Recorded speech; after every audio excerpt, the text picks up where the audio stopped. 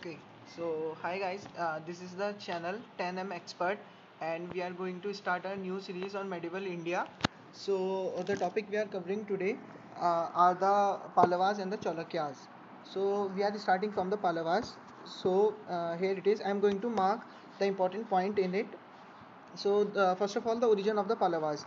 there are different views on the origin of the Palavas. but there, uh, there are no specific and specific view uh, about the origin of the Pallavas, they were considered to be of foreign origin, especially descendant of the Parthians who ruled western India. One more view holds that the Pallavas was an outshoot branch of the Vatakas of the Deccan.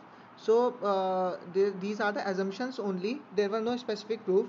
It has also been said that they were the descendants of the Chola prince and the Naga prince, who was a native of the island of the uh, Manipavallam.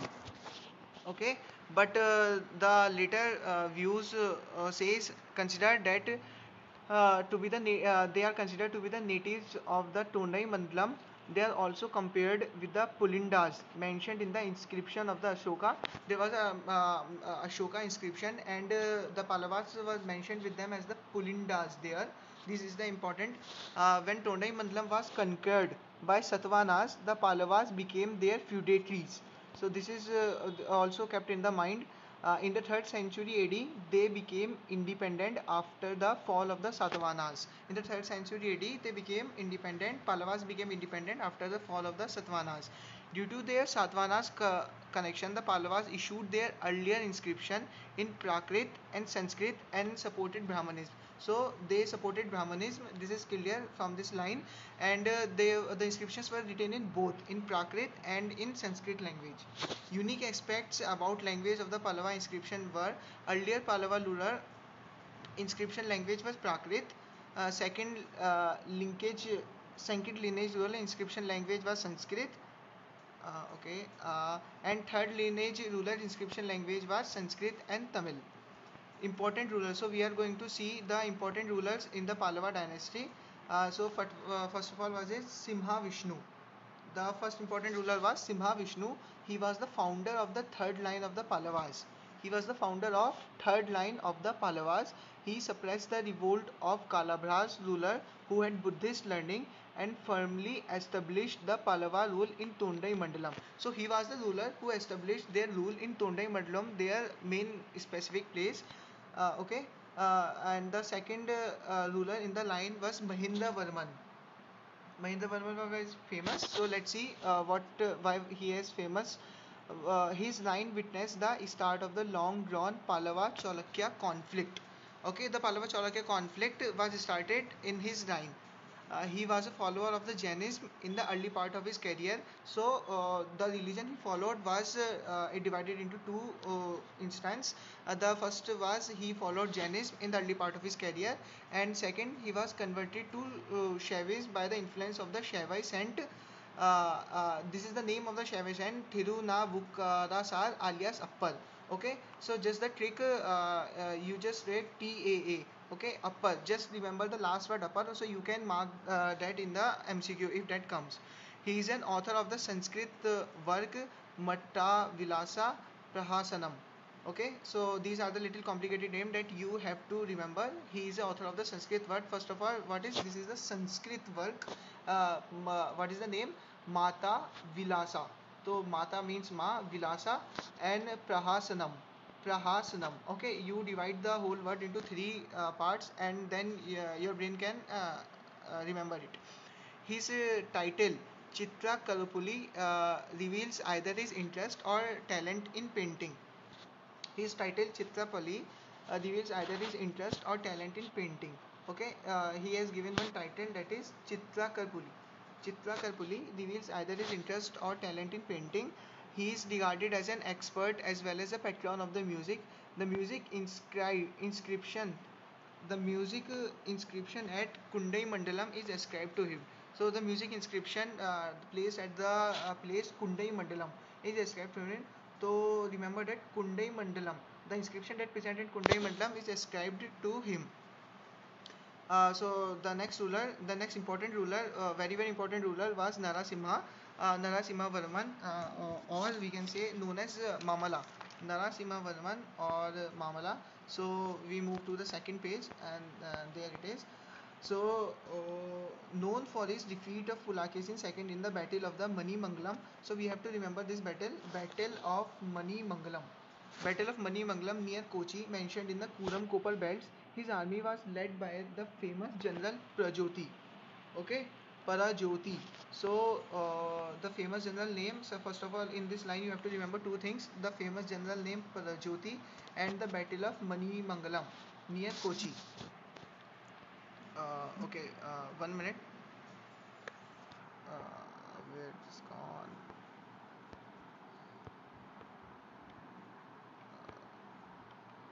wait, one minute, uh, one second. okay so here it is again sorry uh, uh, he undertook a naval expedition to Sri Lanka. During this expedition, he restored to the he restored the throne to Sri Lanka Prince uh, uh, Manavarma. So this is again a catch point. He undertook a naval expedition to Sri Lanka. Which one? Narasimha Varman one. Okay, Narasimha Varman one expedition took to the Sri Lanka. During his reign, Sang, the Chinese traveler, and the Buddhist monk visited the Pallava capital Kanchipuram. So the so you came to know here that the Pallava capital was Kanchipuram, and during his time, the Chinese traveler. Chinese traveler, uh, the, there was a preliminary questions in the last year question paper also. So this was during his time, Huan Sang, the Chinese traveler that visited in his time okay Narasimha Varman one founded city of Mamlapuram and Mahabalipuram okay there are two cities or sorry uh, there are two names Mamlapuram also called Mahabalipuram during his rule the monolithic rathas were erected so this is very interesting and uh, the Chinese and the Indian summit that take place was also in the Mamlapuram so the, this was also in news so you have to be specific about it it is called Mamlapuram also Mahabalipuram during his rule the monolithic rathas were erected okay first of all um, it they were monolithic they were monolithic rathas were elected Narasimha Varman second Narasimha Narasimha Varman second और we can say the Rajasimha these his second name was Rajasimha during his rule the shore temple at the Mamallapuram and the Kailasanatha temple at Kanchipuram was build so we have to specific about there are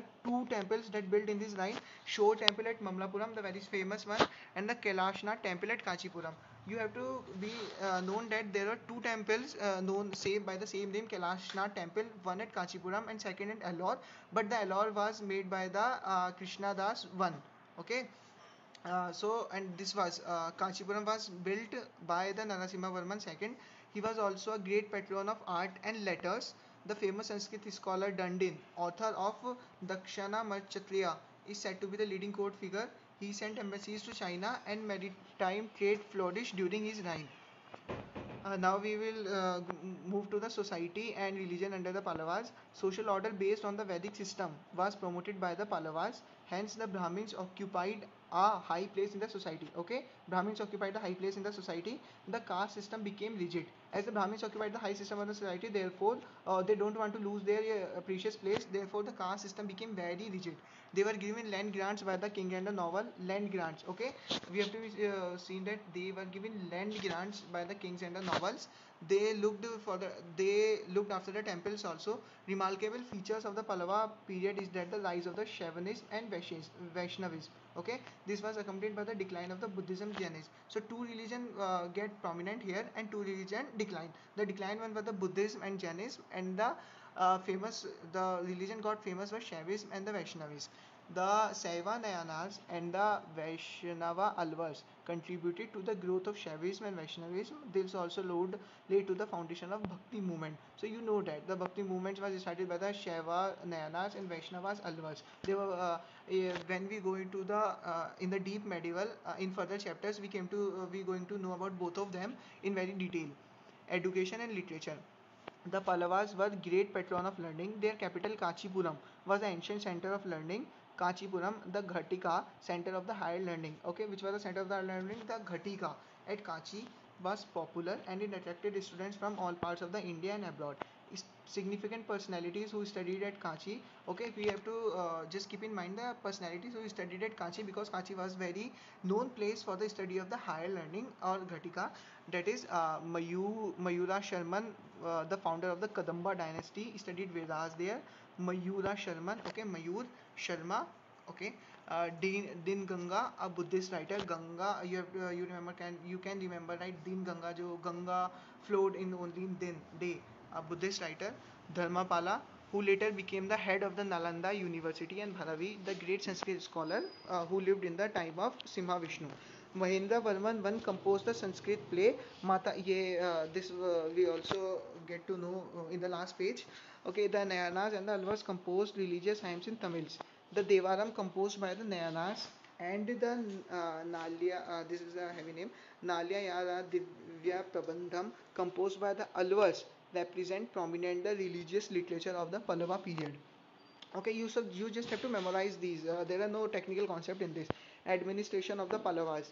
The Pallavas state was divided into kotams. Okay, so you have to remember this that every ruler or the every uh, uh, official uh, divided their administration in certain blocks, in certain uh, types, and these types were uh, different from uh, dif- for different ruler. So for Pallavas, the state was divided into kotams. The kotams was administered by official appointed by the king. Okay, the state was divided into kotams the Kotams were administered by the officers appointed by the king. The king appointed the officers and they were there. King provided land grants to the temple known as Devdana and also to the Brahmanas known as Brahmadeya. Okay, the king uh, provided land grants we uh, just read above.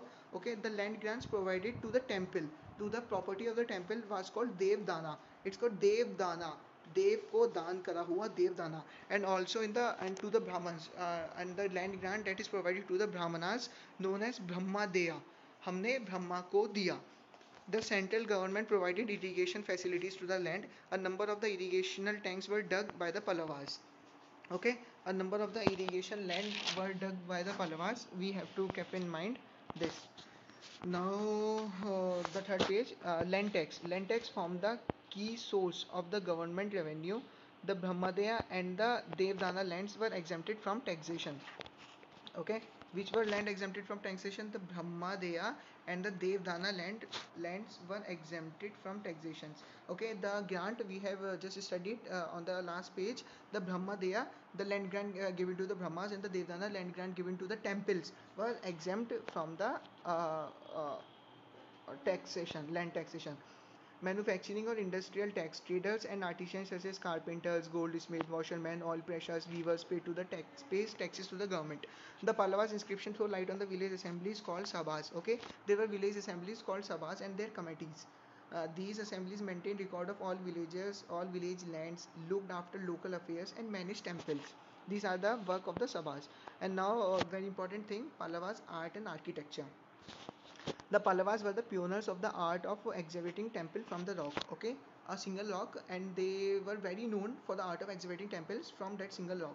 The Dravidian style of temple architecture began with the Pallavas. This is very very important. The Dravidian style of the uh, temple that is very renowned in the South India and uh, that changed the uh, entire art and architecture of the South India was started by the Pallavas only it was a gradual evolution starting from the cave temple to monolithic rathas and culminated in structural temple so it's uh, uh, like a stairs uh, they were uh, first evolved from the cave temples then the monolithic rathas okay a ratha a single ratha and culminated in structural temple there were four stages in the development of the temple architecture first stage mahindra varman 1 introduced the rock cut cave temple okay mahindra varman 1 their uh, uh, ruler introduced the rock at cave temple. Second stage represented by the monolithic rathas, monolithic means single rock and mandapas founded in Mamlapuram. The five rathas, popularly called as the Panch, Pan, Panch Pandava rathas.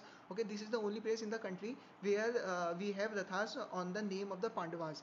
signifies five different styles of the temple architecture. Five different styles of the temple architecture. The mandapas contain beautiful structure on its wall. The most popular of these mandapas are Mahisha Mahi, Mahishasura Mandiri mandapa okay you you just remember like sura Mandiri sura Mandiri mandapa Tirumurti, the three-phase, the Trimurti Mandapa and the Varaha Mandapa. Varaha Mandapa, these were the most famous mandapas. Third stage, Rajasimha introduced the structural temple. Use of the soft uh, sand blocks is the key features of the temple at this stage. The Kailashnath temple at the Kachi and the Shore temple at the Mamallapuram remain the finest example of the less structured temples. They were the finest example structural temples of the Pallavas. The Kailashnath temple at Kachi is the great architectural masterpiece of the Pallava art. Fourth stage, the last stage, represent the structural temple built by the later Pallavas. The uh, vaikunth Vaikunthaparmal temple, the Mukteshwar temple, and the Matageshwara temple at Kanchipuram for the example of the last stage. Okay, uh, built by the uh, ठीक है uh, the Pallavas also promoted the development of sculpture. Sculpture, the Open Art Gallery in Mamlapuram is an important monument bearing the sculpture achievement of the Pallavas. Open Art Gallery The descent of the Ganga, Ganges, the penance of Arjun or ascetic act is called as fresco painting in stone. Uh, okay, the descent of the Ganges. Uh, the, this is uh, uh this is the inscription.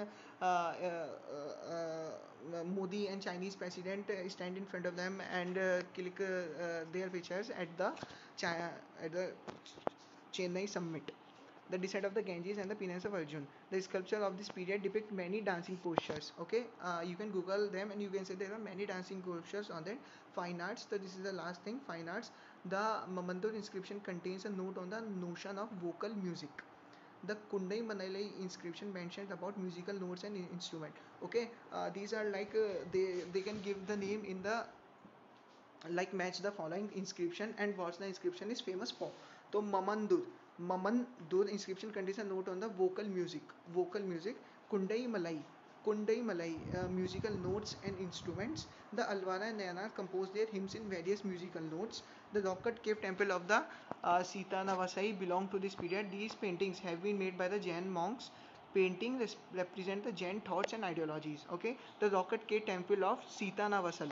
Ab uh, we can remember the Sitanavasal. Okay, people going to confuse that uh, Sitanavasal. So it's going to basis on the Ramayana theme. No, but Sitanavasal being by the Jain ideologies and philosophies. The commentary called Dakshina Chitra was compiled during the reign of Mahendra Varman I, who had the title Chitra Karapuli okay the commentary the commentary they were written many commentaries so the one commentary dakshi chitra okay dakshin south chitra chitra was compiled during the reign of mahindra verma one okay mahindra verma one line uh, that was had who had the title chitra kapuji okay so this is uh, the Palavas. uh, uh, the main points of Pallavas uh, which can be asked in the exam. Uh, so our next class going to be on the Chalukyas, Chalukyas of Badami and Badapi.